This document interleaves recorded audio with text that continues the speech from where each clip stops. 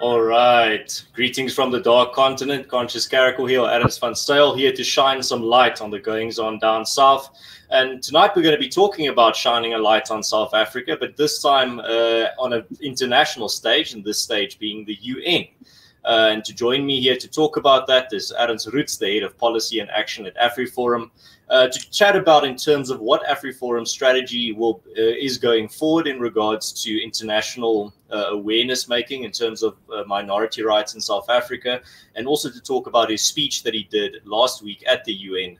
Um, and then also, uh, and I know a lot of people are tuning in for this as well, we're going to be talking about uh, the criminal charges that we will be laying against uh, Julius Malema tomorrow morning. Welcome to the show, Adams. Thank you. It's good to be here. Mm.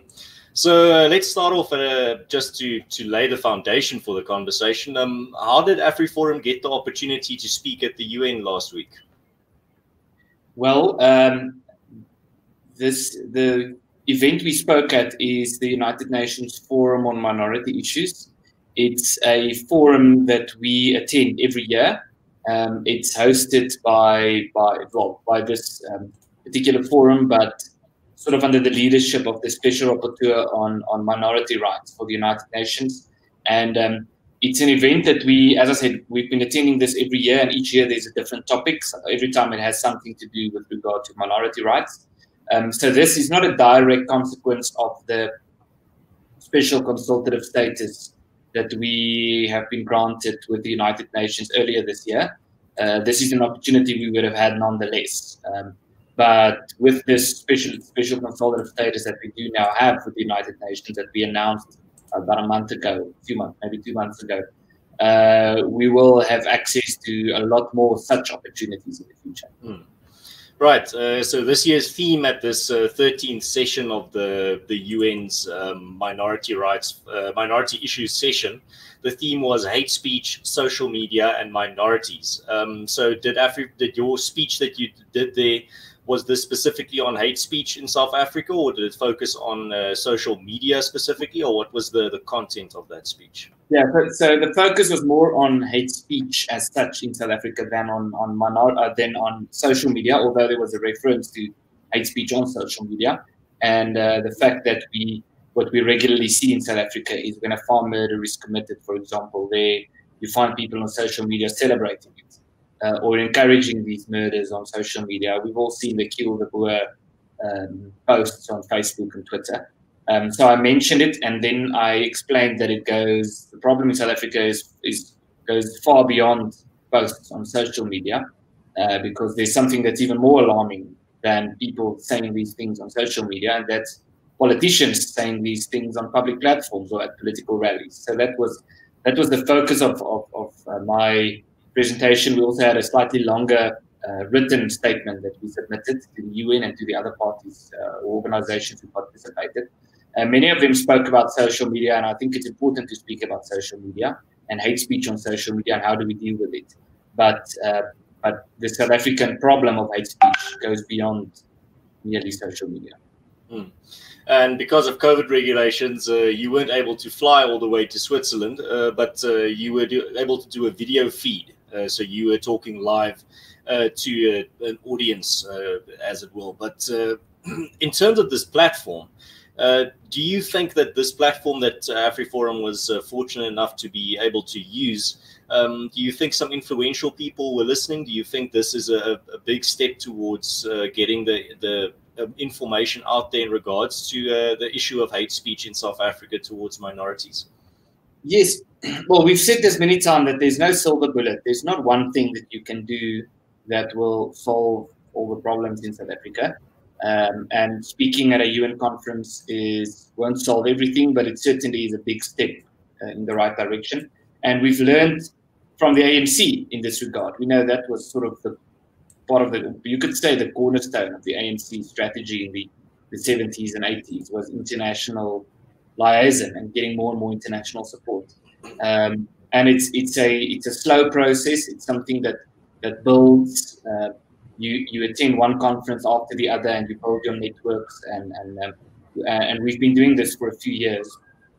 And um, and so I do think it's very it's it's a very important event for us. And yes, we do get the opportunity to liaise and speak with with some other organizations and to, to grow our networks and to expose people to information about uh, um, uh, or bring people in contact with, with information about what's happening in South Africa so that they can take take note of this and also also make a public stance uh, take a public stance on this and in that way also influence what the ANC describes as the balance of forces in South Africa. In other words, putting more and more international pressure on, on the ANC and on the ruling party and, and the South African government for that matter. Mm. That term you use there, the balance of forces, that's something that I've seen increasingly being used in uh, opinion pieces, analysis, uh, in AfriForum's reports as well, in terms of the South African situation when it comes to politics. Maybe uh, for those that aren't uh, in the know, uh, could you explain what the, the balance of forces is in the context of South Africa and how it relates to the ANC? Yeah, so, so the balance of forces is a term um, that that the ANC takes from it comes it's a Cold War term. The ANC takes it from the Soviet Union, um, and they've made it part of their terminology, as many of most of their their, their phrases uh, is the case with. Um, and what the balance of forces essentially means is you have to consider the power balance. So what the ANC says is they have this goal, they want to promote a national democratic revolution in South Africa, which very simplified means they want to use democracy to have a socialist revolution. That's basically what it means. Um, so they want to have this national democratic revolution, but also if it's a democracy, you can't just do what you want, or at least you have to sort of have this um, flair of democracy or create this impression that you are still Democrats or committed to democratic values. So what the ANC then says, and, and they say this publicly, you can find it on their website, is that they have they want to push this revolution but they can't just do everything at once because that would be that would create too much of a backlash and it would be bad for them. So what they do is they they, they do this this revolution gradually um, through policy changes. Like we've seen now one of the major steps was of course this whole thing about section 25 of the constitution. Um, and and what they do essentially is they they see they check the public reaction and to the extent that there's a massive public reaction or a backlash, that means the balance of forces is against them. Um, and to the extent that there's not a big backlash, it means the balance of forces are in their favor. And in, and in as far as the balance of forces are against them, they backpedal. And we've seen that. They've had some, we, we tend to forget about the victories we've had um, over the last few years. One major victory was the secrecy bill, where uh, if you read the bill the way it was published initially, it was basically about giving any state institution, which includes, I mean, hundreds of them, but it includes, for example, the Shark board in KwaZulu Natal and, and, such institutions. The idea of the ANC, or the, yeah, the ANC, you could say, was to give any state institution the, the power to declare any piece of information as secret or top secret. They had these categories. And then if you as a member of the public or if you're a journalist you publish that information um, you would commit a crime and you would you can go to prison. And that was something they pushed i think in 2012 and they were quite adamant and aggressive on this. Another thing another example related to this was this idea of a government enforced media tribunal. And eventually they backed down and they changed their policy on this. There's not there's not a, a, serious attempt currently to have a, a government enforced media tribunal. In other words, for the government to regulate the media in South Africa. Maybe we'll hear some of that in future again. And this secrecy bill has been watered down to such an extent that it's not really a very controversial bill anymore. Um, and, and that's because the balance of forces was just too much against it. So that's what we mean when we say we can influence the balance of forces. It means just getting more and more, putting more and more pressure on, on, on government and we have seen that um, they are very sensitive to international criticism to the extent that uh, these um, these conferences we've attended, uh, they we've seen the South African government they send representatives to attend them with us to, to follow us to see what we discuss. And at this one also, although it was online, um, it, it, the South African government was also tuned in. They were logged in the entire conference. Uh, um, so it, it just shows to us that they do take this seriously. Mm. Uh, that balance of forces that you explained actually sounds a lot like a classic tactic we've seen from uh, tyrannical regimes across history, and that's the that tactic of you don't get someone one kilometer in one direction by just shoving them uh, in one direction in one in one foul swoop. You do it by pushing them one centimeter at a time. And then when you get resistance, you kind of wait for them to calm down first, and then you push a little more. And when you get resistance, you wait. And we're definitely seeing that type of uh, tactic from the ANC for the past uh, 30 years or so. Uh, but then you also have to take into, in, into consideration, as you mentioned, the ANC doesn't seem very uh, adept at dealing with criticism from abroad. I mean, you can take, for example, that tweet from uh, Donald Trump in 2018 when he mentioned South Africa.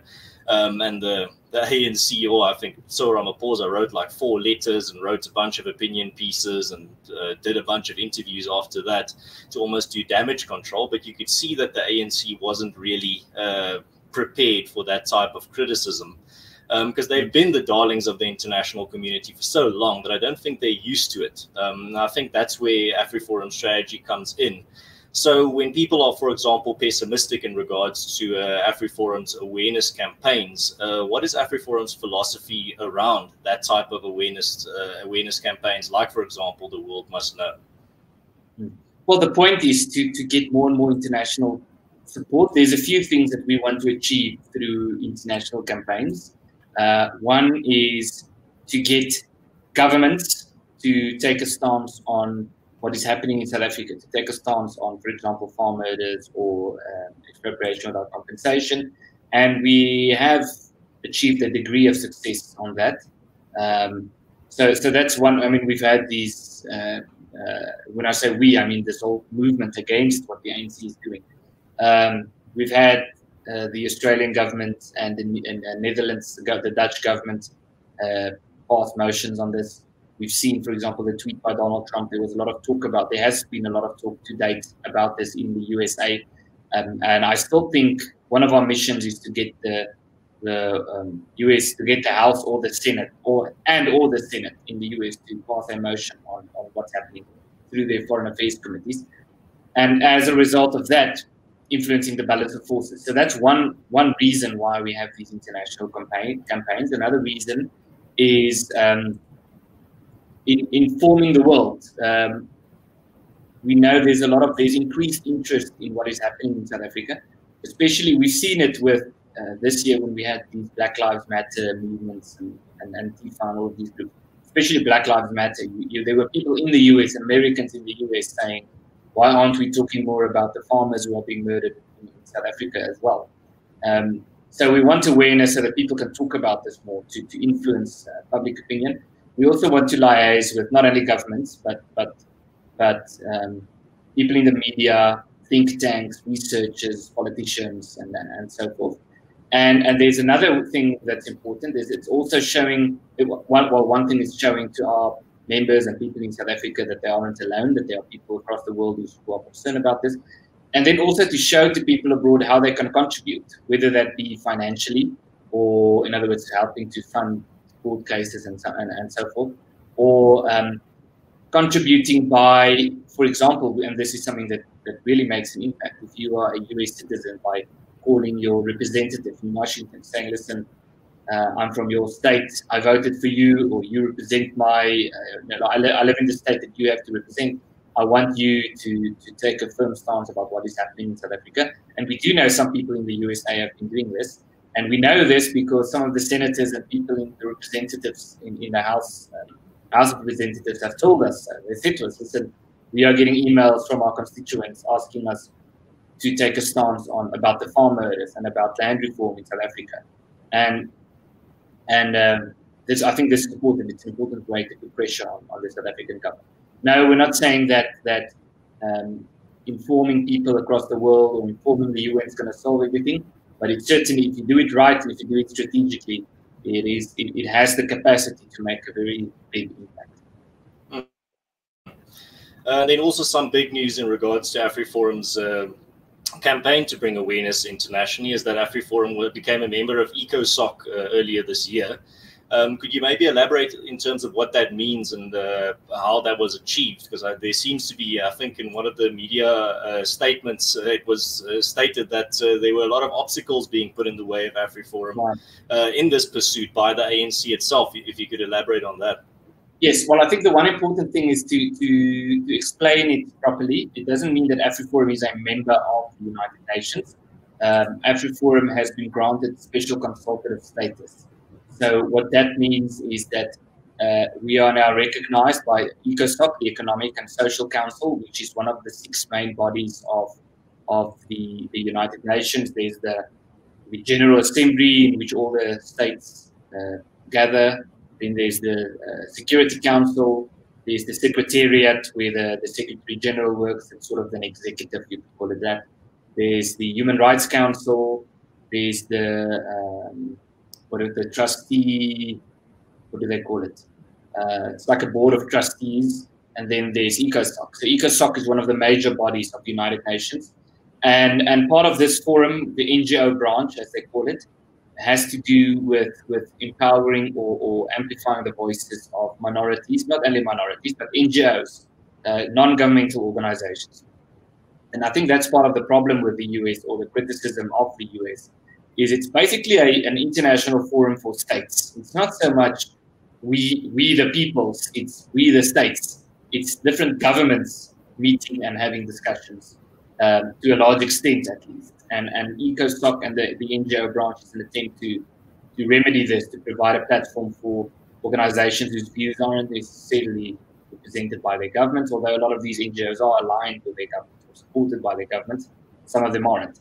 And yes, it was a major, well, let me just say this before I get to, to the, the path to getting there what this effectively means is we get access, we have much bigger access to the United Nations than we had before that. Uh, access to meetings, access to to informal opportunities as well, access to to an extent to resources at the United Nations, to the library of the United Nations, things like that, to the offices um, uh, in certain conditions um, uh, or the office buildings. Uh, so we will we will be we will have a much more comprehensive United Nations strategy in the years to follow. And I know the US, the UN gets gets um, uh, there's concern. People saying, well, the UN has their own agenda and, and, and, so forth, and it's a concern for us as well. But the UN is also a major, a massive international body for for people from all spheres of life coming together. Uh, not coming, not only coming together, but having discussions, um, including AfriForum um, and other organizations, other minority groups as well. So it, it does provide us with the opportunity to to liaise, to build networks, to to to, uh, to build bridges with with organizations and governments and researchers and journalists and representatives and, and other influential people who are sympathetic to our cause to, to get them to also speak out about this. Um, in terms of the, the, the, road, if I might just add on, on the, the difficulty we've had to achieving this, um, I think the first, not I think, I know, the first time I attended this um, forum to get this status was in 2012, the end of January 2012. We applied for special consultative status in 2011. Um, so it's literally it's been from 2011 to now. And one of the reasons why, not one of the reasons, the reason why it took so long is because the South African government took deliberate steps to prevent us from registering.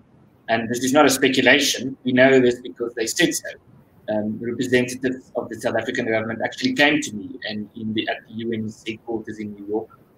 And they said to, well, this representative said to me, listen, I've been given instructions from Pretoria that I need to, to ensure that you guys don't get through because you guys are too arrogant, those were his words. Um, and so they kept uh, delaying us. They couldn't really reject us because we complied with, with the requirements. So they kept delaying us. And, and um, eventually it took us nine years, but it was a massive breakthrough for us. Mm. And I think, uh, yeah, you touched on it, but I think there's something else that's also very important. That's the, the issue of legitimacy. So when uh, AfriForum goes on uh, our next liaison tour, whether that be to the US or to somewhere in Europe, um, this type of membership gives you that the, the credentials or the CV to show that you're the real deal. It uh, actually gives you access to a lot more ears than you would have in the past. Uh, I mean, uh, when you're up against a, a, massive propaganda campaign against you in the in the mainstream media, both domestically and abroad, um, it kind of throws a spanner in the works when you've got uh, this type of backing or this type of CV uh, when you arrive yeah. there in a, in a, foreign country to try and uh, spread awareness or to get the ear of uh, some politician or influential think tank there. It, it really is something that you can put on your CV and it does give you a lot more credibility um, it's something that that you they actually explain it in, in the letter we received when we were granted the status that we can put it on our letterhead. Uh, we can say uh, so when we when we engage with organizations in, in other countries or we reach out to some politician or some think tank or whoever, some researcher or journalist, we can actually add onto our letterhead. We can say AfriForum, and then we can say an organization with special consultative status at, at the United Nations. Um, and it just it just gives us a lot more credibility. So not only will this um, directly um, open doors at the UN in terms of meetings that we are now allowed to attend that we weren't allowed to attend before, it will also open doors for us in the sense that it'll be it, it will be easier for us to get meetings with people across the world, uh, given the fact that you that you can add this to your resume and you can say this on your on your letterhead as well. Mm. Uh, yeah, it's, uh, so uh, AfriForum had a very successful uh, The World Must Know campaign this year. It was not AfriForum's first liaison tour to the US, it was actually the second. Mm-hmm. Um, and it seems like there are increasing amounts of friends uh, of AfriForum uh, out there in regards to these types of tours. That's also one of the other things that they achieve is the fact that when you go there, you can get new, you can network with people that are interested, get the contact details of people that want to spread awareness about South Africa in those countries as well and it gives you that uh, it gives you that network where when you want to get a news story out there to for example publications in america like for example you want tucker carlson to report on something you can send them that uh, and they will take it into, into consideration and i think mm-hmm. afriforum has made leaps and bounds in regards to uh, gaining allies all across the world it seems like we have a lot more people uh, listening to what's happening in south africa from afriforum uh, than we had just a few years ago. It seems like uh, it's becoming, uh, when people mention AfriForum in foreign circles, it seems like it's ringing a bell. It's not just uh, some nobody organization anymore. Yes. Um, well, to, to give you to give some perspective, when we planned the US tour this year, um, we we, we, we have all we have the, the information on a spreadsheet, of course. And we, while we were planning this, we actually discovered that we have about hundred. I think it was slightly over hundred potential meetings in Washington, um, and some in New York as well, of course. Um, um, so we, we're now at the point where when we go to, to Washington, we we can't speak with everyone we know there because we don't. Even if you go for two weeks, there's not enough time to have to have meetings, follow up meetings with with all the people with whom we have had discussions in the past and with whom we are still in contact. So I think people underestimate the extent to which we have a, a, a network there.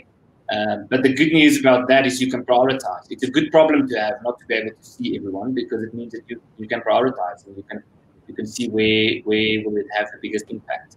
And um, we obviously we have contacts in other countries as well. We've had uh, liaison tours to all over the world, um, but I think we um, I think we must we must build on this. And and we've had I mean we've seen this the success, the the the um, exposure we've had on, for example, you mentioned Tucker Carlson on Tucker Carlson tonight. It's not just something.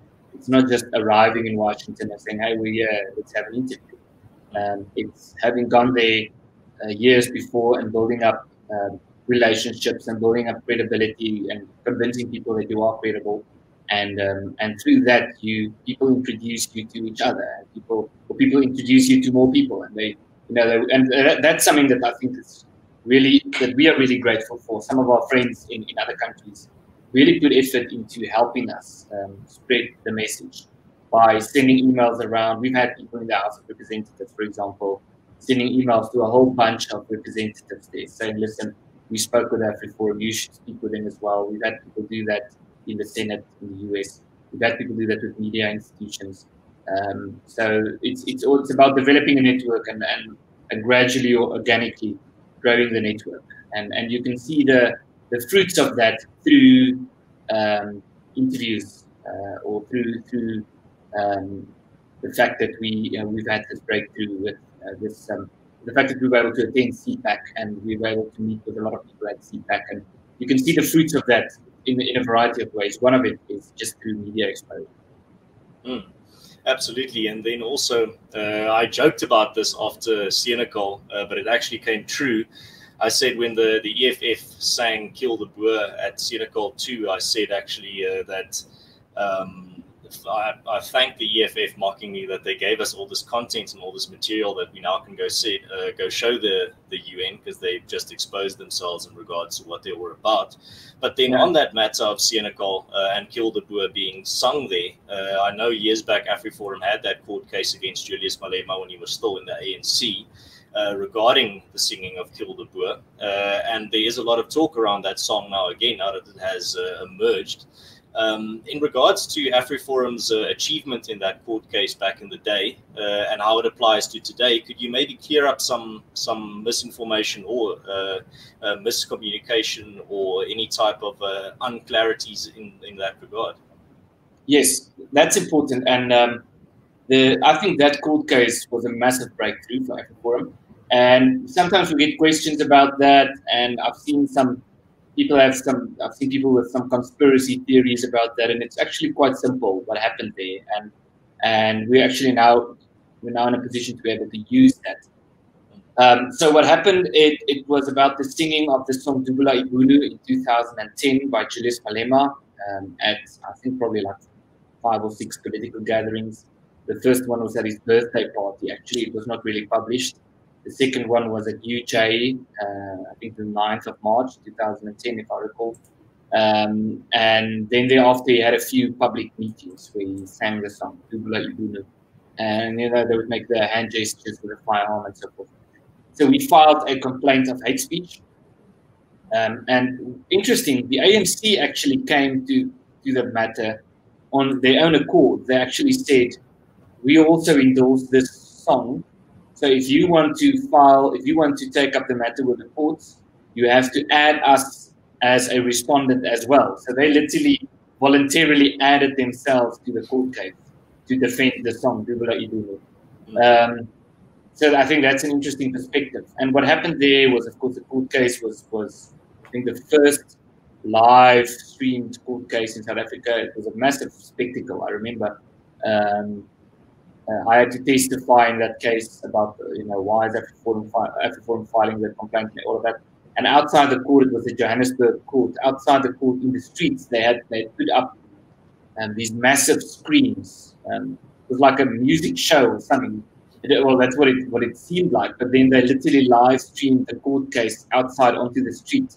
In the like almost like a sporting event. Yeah, it seemed like that. And there were thousands of people sitting in the street watching the, the court case. Um, and so we won that case. Uh, Judge Colin Lamont made a ruling in the case of Every AfriForum versus Malema. People can go look it up um, about why this song is hate speech, and he dismissed the ANC and Malema's arguments. Uh, in his judgment, and this is important to understand what happened there. You have to differentiate between a, a judgment and an order. You talk about a court case. So the judgment is the explanation and the findings by the judge, and then the order is the little paragraph at the end that say, basically says, because of this judgment, the following now has to happen. Um, so we need to differentiate there. So he, he, explained in his judgment this is hate speech and all of that, and he made an order that, that basically said the ANC and Malema cannot are not allowed to sing this song. It's um, the song is declared hate speech. So if they do, in other words, it will be they will commit contempt of court. So that's round one. What happened then was the ANC and Malema um, Malema was then president of the ANC League, but we, we filed a complaint against him as an individual, and then the ANC joined. Uh, they then went to, they then filed an appeal. They went to the Supreme Court of Appeal. We uh, uh, um, opposed the appeal, and before the matter was heard in the Supreme Court of Appeal, um, we uh, the court actually gave instruction that that the parties have to sit around the table before the court proceedings commence to see if they can have some form of a settlement. Now, we weren't very optimistic about reaching a settlement on this issue because the only possible settlement for us could be they have to stop singing the song. And it turns out that's what happened. And we spoke about the balance of forces earlier. Um, and I think the balance of forces was just too too much against them at the time. Um, so at the settlement, because it was it was news all over the world, it was international news.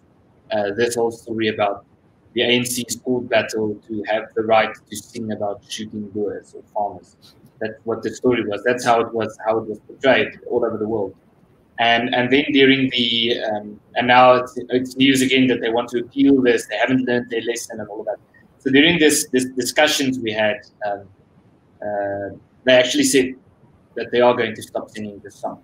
So we said, well, it's well, this is fine. We can say this around the table. It's not going to make much of a difference. We have to make it a court order. So the consequence of that was that the agreement was then made, or this concession uh, on their behalf was then made a, an order of the Supreme Court of Appeals. So what that means practically is the judgment of the, the case which found the matter to be hate speech is still in place. The AfriForum versus Malema judgment is still valid. It still uh, counts as authority. Still creates a precedent. We can still use that judgment. Uh, but the order, the part at the bottom where the court said now you are not allowed to sing this, was replaced with a, a settlement agreement, which was then made um, a, an order of the Supreme Court of Appeals. In other words, it's a higher court with more authority. Uh, so that, that's the first thing. The second thing is it was made broader than that. It's not only applicable to Dubula Ibunu, it's now applicable to similar songs. In other words, it's now applicable also to uh, One Settler, One Bullet, to Kill the Boer, Kill the Farmer, to all these other songs, which weren't initially. Um, so that that was an improvement on, on, on the order and as far as we are concerned. And, and thirdly, also the fact that this was a settlement also neutralized the possibility that the Supreme Court of Appeal or eventually the Constitutional Court could overturn the initial ruling or the initial judgment and say, no, this is not hate speech. So they cannot overturn it now because they've agreed to this settlement. So that's that's sort of the story on, on where we are. And I think that settlement is useful because if they if Malema now sings Dubula Ibunu or similar songs, he he's not only committing hate speech, he's also guilty of contempt of court. Uh, and also, what that settlement also said is that uh, Malema and the ANC have to encourage, I think it says, educate their supporters about these songs, but also encourage them to refrain from singing such songs. So, in other words, if Malema, according to this settlement, if Malema does not encourage his supporters to refrain from singing songs like Kill the Boer, Kill the Farmer, that means he's in contempt of court. So that means he's committing a crime. Hmm. But now, this finding, what are those implications then for the singing of Kill the Boer at Senekal earlier this year? Yeah, exactly. And that's why I think this, this settlement is relevant now again. So we have written, and I don't, we haven't announced this publicly. So this is the first time we've made this information um, available to the public we we have written an attorney's letter to Julius Malema um, after Senekal, and we gave him time to respond until the 30th of November. And we said to him, listen, well, you would remember that there, there's a settlement which has been made in order of the court that you have to encourage your members to, not to sing this songs like these. Um, so we are now, remember, it's a legal process that you have to that you have to follow. Um, uh, you can't just run to court immediately. You have to follow the, the necessary legal procedures. So we've sent the, in this attorney letter, uh, attorney's letter. We'll see how he responds by the 30th. If he doesn't respond by saying he's going to stop singing the song and he's going to, to uh, or at least he's going to encourage the EFF not to sing the song. So if he doesn't respond appropriately, uh, we can we can take up the matter further. We can we can again file, file a complaint of hate speech which if we win, we can get a court, court order that he has to pay damages to an organization that works with the victims of, of farm attacks, for example, um, and so forth. But it's more than that now. It's also contempt of court. So we can go we can go through that proceedings and actually have him found guilty of having committing having committed the crime, contempt of court. And hate speech by definition it's it's a bit technical, but hate speech isn't a crime as such. But but contempt of court is a crime. Mm. Um, and then speaking of court cases as well, uh, you announced earlier today on Twitter that uh, AfriForum will be laying criminal charges against uh, Julius Malema uh, for his uh, speech this week uh, regarding police hmm. officers. Mm. Now, the, the reaction that I've seen in regards to his speech seems to be that a lot of people think that this time uh, he's given himself a very little wiggle room in regards to, to defending what he said. Um, but yeah. I mean, could, you could say that about a lot of things that he said in the past. So my big question there then is, when you look at, for example, the the court cases that are, are currently uh, going against uh, Julius Malema, and this one seeming uh, is going to add to it. Um, or maybe before we get to that, uh, maybe can you just uh, give us some context in regards to uh, the criminal uh, criminal charges that you will be laying tomorrow at uh, in uh, Centurion, I think. Yeah, so we will we'll be filing the complaint tomorrow morning, um, and it's for incitement of violence and, conspiracy to commit crime and also intimidation. And it's about Malema's comments in Brackenfell, where he, he spoke about basically about attacking the police. He said, "Yeah, we, we must remember, or they, the police, must must remember what they what happened when when the the struggle movement or the liberation movement, or however he defines it, fought against the police during the apartheid system." And he, he explained they went to their houses and so forth, and, and that happened. It happened in the 1980s that that members of of the ANC and Mkhonto and so forth actually went to especially black police officers' houses while they were sleeping, threw hand grenades through their windows, blew them up and their families, or just shot them through their, their windows um, uh, while they were sleeping. Uh, that happened. It happened in South Africa and it was a very serious reality. And Malema was basically flirting, saying, not only suggesting, basically saying that the EFF is prepared to do the same thing. Um, so this is clearly an example of, of incitement to violence and conspiracy to commit crimes and intimidation and it is something. I think the interesting thing is he's making his um, his his circle of enemies bigger and bigger, um, to the extent that you can only have so many enemies. And um, I mean, he should have been prosecuted a long time ago, and our private prosecutions unit is looking into it. But but making threats about killing the police is is a is a big hurdle to cross, and uh, I think there's going to be consequences for him for this. Um, but then also talking about uh, these types of court cases, I know the uh, we all wish that the law moved a bit faster there, or justice moved a bit faster than it does in South Africa. But there's a lot of court cases going on in regards to Julius Malema from AfriForum side. Uh, there's the, the, assault of that police officer case, and there's also the the case of uh, when he shot that firearm into the air. Uh, what's the progress on those two court cases? Yes, so so there's a few cases. There's actually more than one case of assault with, Julius Malema. The one is now in, in court, uh, the one of assault, uh, where at the funeral of Winnie Mandela, he and Mbuyiseni Ndlozi went to the funeral, and there was a, a police colonel who happens to be white, who I believe was, was regulating the vehicle traffic, and I think he was trying to say to them where can they park. Uh, or something like that. And he got out, and Malema got out, and Mbuyiseni Ndlozi, and they started beating him up.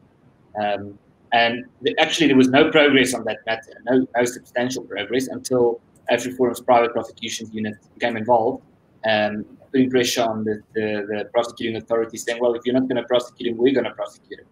And now we are at the point where he is being prosecuted, where he has been in court. He has appeared in court twice now um, for the matter to be heard. Uh, the matter is still, it's still on. Um, I think within the next year, probably the matter will be resolved. And I don't see no reason to get out of that one. And I think this shooting of the farm probably worse. And it's the same, uh, just a bit down, that hasn't been argued, but I'm sure we reach that point. Um, and um, I look the the casings were picked up on the scene where he fired that firearm. Um, so, so, um, and I think the evidence is there. Um, so I think that one's going to turn out quite badly for him. And then I think this one is also not going to be to be good. So pro- it is a problem in South Africa. I'm not, I'm not overly opportunistic about the legal system because I do know that we have some serious problems with people being prosecuted or not being prosecuted for political reasons. Um, and I think Malema should have been prosecuted a long time ago, but it, it's not as if there's nothing happening. It's just a slow, a slow progress. And um, I think if we, uh, from AfriForum side, we regard this as one of our major priorities. So, hmm. um, and Gerrie Nel's office is, is, they have big tabs on this.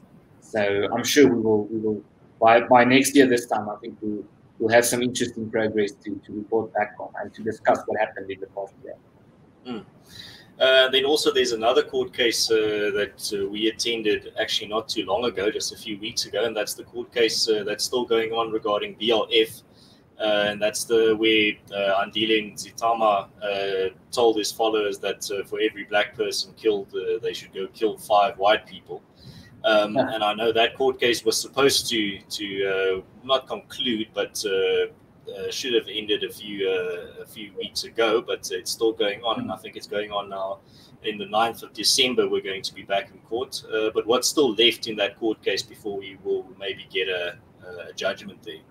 Yes, well, that court case is basically finished. Um, I believe it's this coming week uh, is the final court date, unless uh, Andile Mngxitama's and, and legal team prolong the matter. Um, where we are now is I'm still in, in, in I'm still giving evidence uh, testimony in the matter. I've been in the box for I think two and a half days by now um, having to give oral evidence, and i have been cross-examined for more than a day now so far. And so, what what the what their lawyer said is that they will conclude their cross-examination the next time we report, and then they will make their closing arguments. I'm not sure if they're going to call witnesses. I don't think so.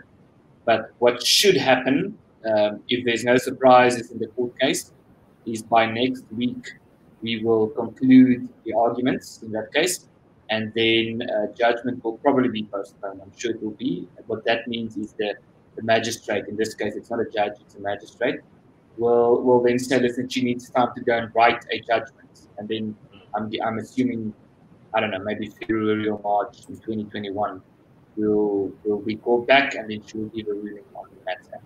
Um, I'm very optimistic about that case. i I mean, what, what this guy said, he said we're going to kill five whites for every black person who gets killed. He said, "You must come with me. I'm going. To, I'm going to show you who to stab." That's what he said. He said, "We'll kill their wives. We'll kill their children. We'll kill their dogs. We'll kill their cats." And I've said this repeatedly during the court proceedings. If this is not hate speech, nothing is hate speech. What what else can be hate speech if this isn't hate speech? If you openly say we're going to go to the suburbs where the white people live and we're going to start killing them, and you must come with me, and I'm going to show you where they are, and, we, and then you will kill them and I'm going to help you to kill them and all of that. So, so I think we're going to win that case. I think we're going to get a court order against, uh, or at least an order that he, Andile would have to apologize for being making such racist comments, which I think would be funny. I also, we've also asked him to, for a court order that he has to pay 500,000 rand in damages um, to an organization that works with victims of genocide or, or hate speech uh, or minority rights. Uh, we are considering the uh, what we suggested in court would be the the Center for Prevention of Genocide in that is linked to the Holocaust Memorial in, in, in, Johannesburg. Uh, because he also made some atrocious comments about Jews and the Jewish community and Hitler and so forth. Um, uh, so I think we're going to succeed in that. And if they aren't able to pay, we'll be able to send uh, to send the sheriff to, to his house to confiscate his belongings, to sell his belongings. Um, and I, I, I think that's what's going to happen. Unless by some very strange turn of events, the magistrate finds that if you say, come with me and let's kill the whites, I'm going to show you where they are, and we'll kill their wives, and we'll kill their dogs, and we'll kill their cats by some strange reasoning that isn't hate speech, but I doubt that that would be done. I think something that uh, I also want to discuss with you, Adams, is uh, more of a risk or a danger that's developing in South Africa when you see institutions like, for example, the South African Human Rights Commission not really doing uh, what they were supposed to do, or really seeing some strange uh, court judgments as well, uh, becoming increasingly strange. You could also say that. Um, so, and that's that's a big concern because the the only thing that really separates people or that stops people from uh, using violence to pretty much solve their, their disputes is that you have these types of institutions that I mean that's their role. But when these types of institutions start failing or when they start becoming ideologically possessed or captured, um, that creates a very dangerous environment for where, when people can't then rely on these institutions anymore and then they're going to take justice into their own hands. Um, what do you foresee in the future in regards to this concern or this risk, and what is uh, AfriForum's stance regarding it? Yeah, well, I'm trying to get something here, maybe to read it out. Um, I think it's about the um, the, um, the Human Rights Commission, which has really become part of the problem. Um, in, mm. in, I mean, they, they made that statement a while back regarding Julius Malema. I think it's regarding his uh, speech where he said, uh, "We're not calling for the slaughter of whites, at least for now." And then they they pretty much essentially said that um, the the race of the perpetrator and the race of the victim will determine what their yeah. their judgment is in regards to hate speech. So here's the latest comment by, by the Human Rights Commission on that. So I pointed that out at this UN conference. I said the Human Rights Commission is not the solution; it's part of the problem in South Africa, because it has publicly stated that the race of the perpetrator should be a determining factor on whether something is hate speech or not. And Malema is black, therefore it's not hate speech. That's basically what the Human Rights Commission said in its, finding or the ruling in March 2019. Um, so I said the Human Rights Commission is part of the problem for this reason, and they responded. They were very angry with me, and they issued a press statement. And here's just one comment. This is a quote. I'm reading from a news article. So it starts with a quote. It says, and it's sort of defending their position on hate speech and having race being the determining factor. Um, um, Majola, who's, um, who's the, the chairperson of, of um, Human Rights Commission, um, said, the Commission objectively determined that the statement, now that's the statement here is Malema saying, we're not calling for the slaughter of whites, at least for now. The Human Rights Commission said it's not hate speech because Malema is black. So they, he says the Commission objectively determined that the statement meant that whereas peaceful black Africans were killed like animals by white colonists, Malema is not calling for the, for the killing of white people now. What he is calling for is the peaceful occupation of land, said Majola. He added that it was important. Uh, Malema referred to white people's historic and not current conduct, and that white colonists occupied indigenous uh, land remains a fact. Now, this sounds like the speech of, an, of a radical political activist, not a government human rights commission trying to objectively protect human rights. Um, so the Human Rights Commission is, is part of the problem. It's, it's, there's no doubt about that. The Human Rights Commission cannot be trusted. Um, they try to involve us with discussions about Senekal, and we say to them, we don't trust them. We don't want to be in discussion with the Human Rights Commission because they, they publicly endorse double standards. And I think we should point that out. I mean, we, we should, and people watching this, we should continue filing complaints with the Human Rights Commission uh, because I said, I mean, I mean, we can look at what reality is in, in this statement. They also seem to believe that white people encouraging violence towards black people is a much bigger crisis in South Africa than black people encouraging violence towards white people. And, and I, I honestly haven't seen that many white people saying, let's go and kill the blacks um, I, I, don't see that. I think I've seen it maybe once. Uh, I saw someone posting something like that on, on social media. Um, and the Human Rights Commission is under the impression that white people, you know, committing hate speech is a much more serious crisis than, than, than white people being the victims of hate speech. And I think we must point that out. I think we must continuously point out the Human Rights Commission that they are part of the problem. We mustn't trust them. I think we can continue filing complaints with the Human Rights Commission. Um, but we must have a, a, sense of perspective when we discuss the human rights. Mm. Um, but yeah, it, it is very concerning to see, for example, the developments that we saw in Brackenfell uh, just a week ago. Uh, that's good. You're going to see more of those types of confrontations if you don't have these types of institutions uh, doing their job, uh, or if you don't have any type of supplement for that or any type of replacement. So, uh, and I think uh, AfriForum is more of the stance of we need something better or something else rather than how that we're going to fix these broken institutions that have been completely captured. I might be wrong in that assessment, but what is the yeah. solution then going forward in regards to uh, mitigating this very serious risk that uh, I outlined? Well, I think the the problem in South Africa is goes beyond who the governing party is. Um, which party is ruling um, is currently ruling the country. The problem of South Africa um, goes beyond, or, or, let's rather say the, the solution for the problem in South Africa goes beyond simply getting another party to govern the country. The, the solution goes beyond simply upholding our rights as it's defined in the Constitution. And the problem, because the problem with the Constitution is you can you can read the same text and you can have multiple different interpretations thereof. And who gets to interpret the constitution? It's not us. Uh, it's it's it's judges who are being um, appointed based on their commitment to, you could say, a particular uh, left-wing progressive interpretation of the constitution. If you are not committed to that interpretation of the constitution, in other words, if you're not committed to transformation, you you won't be able to become a judge, or you will have a very difficult time because you have to go through the Judicial Service Commission. So, so the solution in South Africa is is goes beyond that. It, the solution in South Africa is about um, communities taking control over uh, over things that are important to them, not waiting for government to protect us, but protecting ourselves.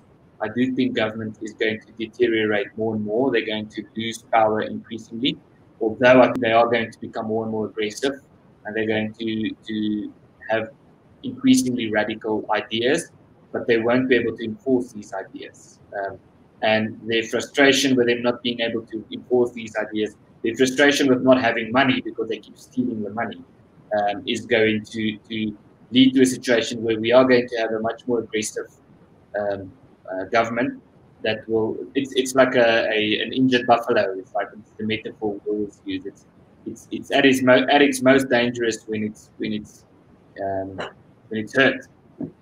Um, and I think that's the situation. And I think the solution is is uh, I think we're going to have a, a, degree of deterioration in this country, and it's not necessarily a bad thing.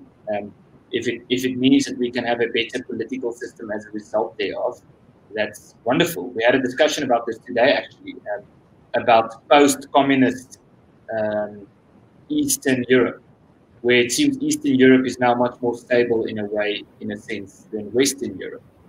Um, uh, I would rather go to Hungary and many of these countries than, than to France and, and, and, England and so forth, at least for political stability. And I think it's because they went through this, and and um, I mean, Eastern Europe, east of the Berlin Wall, was, was pretty much destroyed as a result of communism and socialism, and the same type of ideas that the South African government is flirting with. But that led, led to a disillusionment, a realization about certain realities that are being denied or suppressed by, by ideology.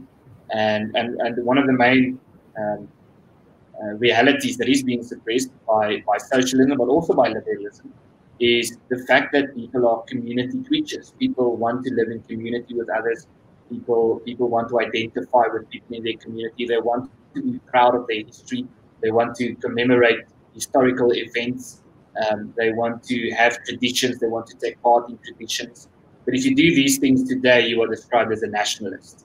Um, and and um, and you know if you well if you do this, the ANC will describe you as a right winger or a racist or something. I mean they can do it, but everyone else can't.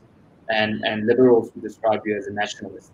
Um, and I think that's just I think that's we have, that's why we have this backlash all over the world now with Brexit and with Trump becoming president in 2016 and what's happening in, in the Netherlands and in Italy and in Hungary and in, I mean, we can go through the list. Um, so, so um, I think, I think there's some troubled times ahead, but I think it's not necessarily bad news.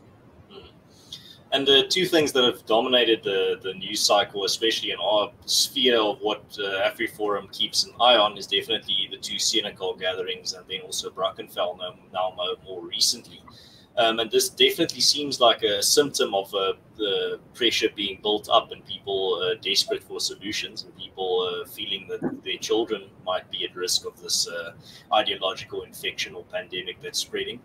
Um, but and here and then the the the tough question comes in, or the more the dilemma comes in, and that's what? How do you respond to this type of building pressure? How do you respond to, uh, for example, the speech of Malema, or the the type of uh, threatening messages that you get from uh, the the ruling party?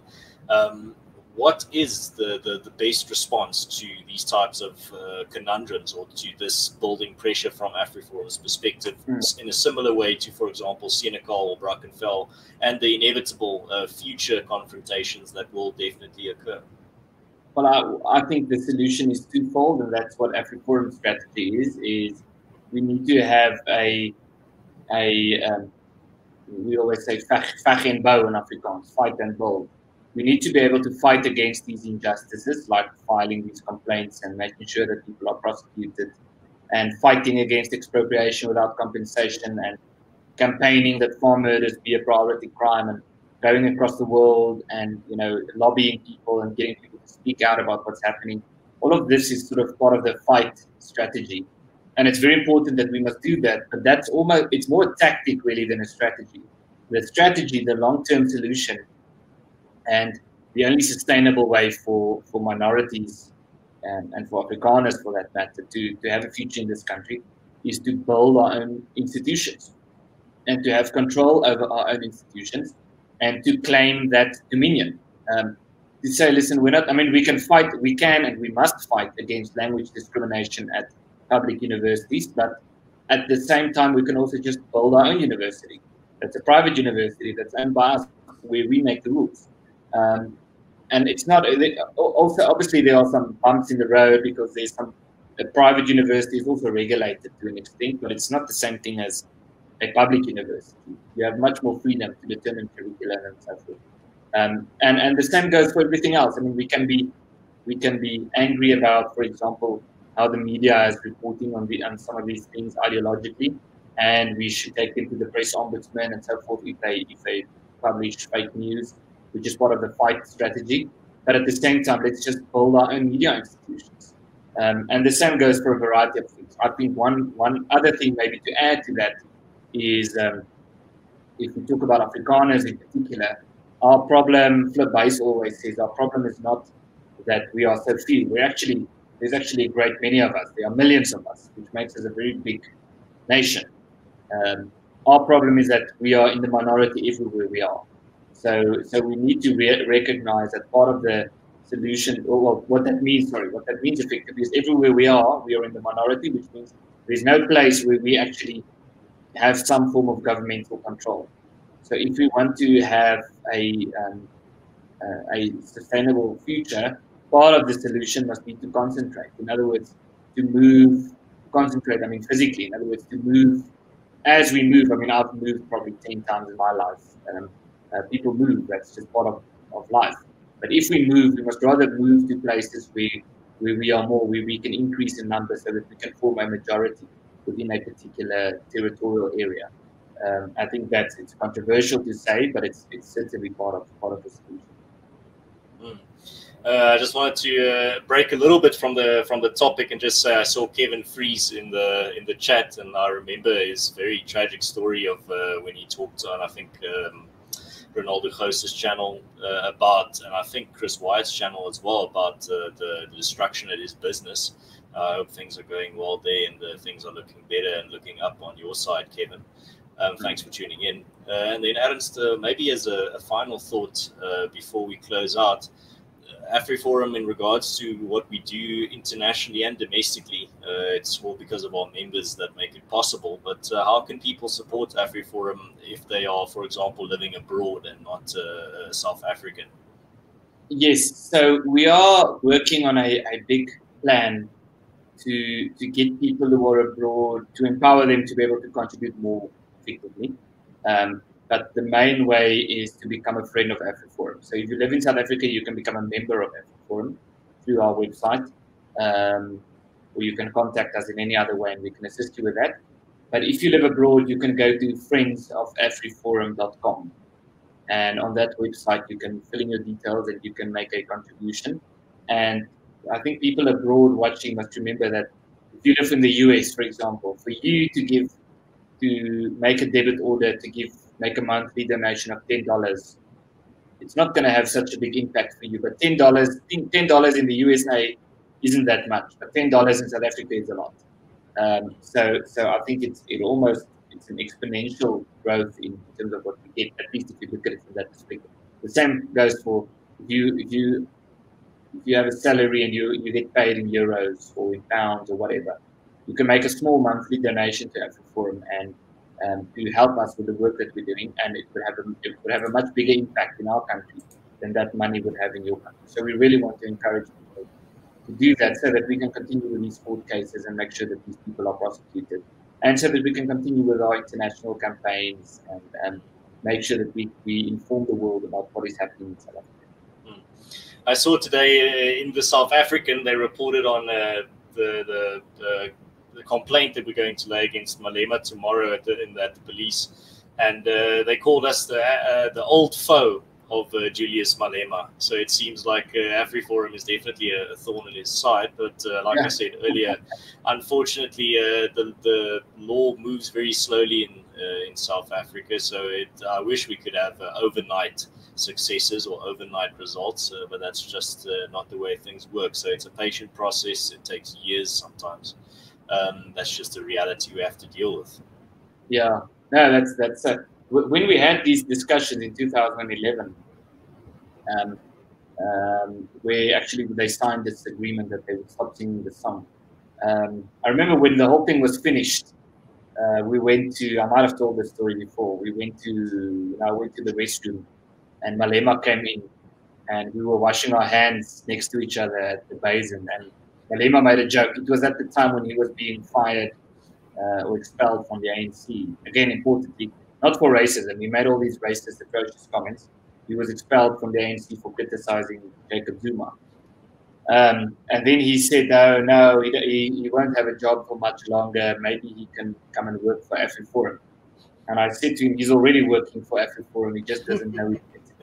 Um, because with all these comments that he makes, he's, he's encouraging people to join AfriForum and he's strengthening AfriForum as a consequence as well. Um, but he immediately got, he understood what I was saying to him, so he, he got the joke. But, but, that is the reality. Yes, you're right. Uh, the law um, moves, justice moves slowly in Africa, um, but I do think we are making progress. I mean, we've had it in court now. We've had Black First Land First in court now. Uh, we are going to use the settlement now against Malema. So, so there is some progress on this, and and I, I think I, I really am. I'm not. I'm actually not an opportunistic person by nature. But I am you mean uh, you mean optimistic, Adams, not opportunistic. Uh, sorry, optimistic. Yes, optimistic, not opportunistic. Um, I'm not optimistic by nature, but I'm optimistic about about this. Um, if we acknowledge that it is going to take take time, I know we're going to to to. I'm, I'm convinced that there's going to be a significant outcome in this. Well, Ernst, uh, thank you very much for giving us some of your valuable time tonight to give some uh, to shine some light in regards to what's going on behind the scenes uh, and how uh, AfriForum is fighting the good fight. And then also thank you very much to everyone that tuned in tonight. Um, thank you for everyone that left a like. It helps out the show. And if you're new and you like these types of conversations, you can go subscribe. And maybe I'll see you next week uh, as well. Um, but yeah, thank you very much, Ernst. Uh, all the best for the future, and also good luck tomorrow. Uh, I hope you, uh, I hope you are on Malema's nightmares tonight, and then uh, we'll chat again real soon. Uh, Thank you. Bye, donkey. Lekker. And thank you for everyone in the chat also.